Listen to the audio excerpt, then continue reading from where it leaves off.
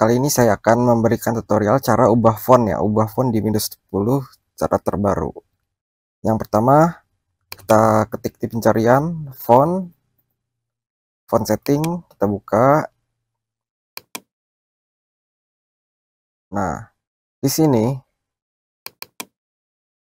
ini scriptnya nanti saya kasih di link deskripsi ini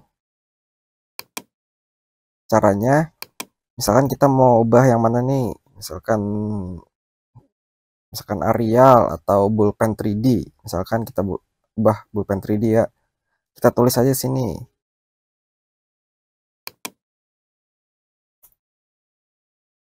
Bullpen 3D 3D udah sama belum namanya? Oh L nya 2 Bullpen 3D. Lalu script ini kita save ya. Kita save as. Taruh di desktop. Untuk ekstensinya, misalkan kita kasih nama teks saja ya.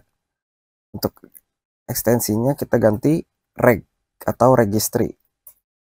Nah, lalu di save. Nah, ini yang uh, registry yang udah dibikin tinggal diklik dua kali continue. Nah ini sudah terinstall ya namun belum ada perubahan kalau kita belum restart. Kita langsung restart.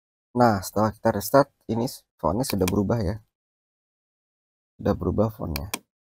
Semoga bermanfaat di like atau di subscribe untuk uh, dapat ilmu terbaru dari teknisi komputer update. Terima kasih